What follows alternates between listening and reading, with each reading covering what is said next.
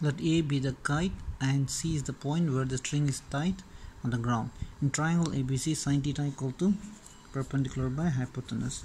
So we'll take here sine 60 degree equal to perpendicular is AB and hypotenuse is AC. Sine 60 equal sine 60 equal to root 3 by 2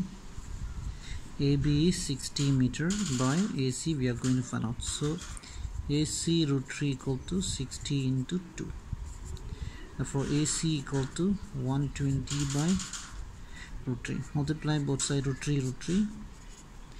we'll get 120 root 3 by 3 equal to 40 root 3 therefore the length of the for length of string equal to 40 root 3 meter so that's answer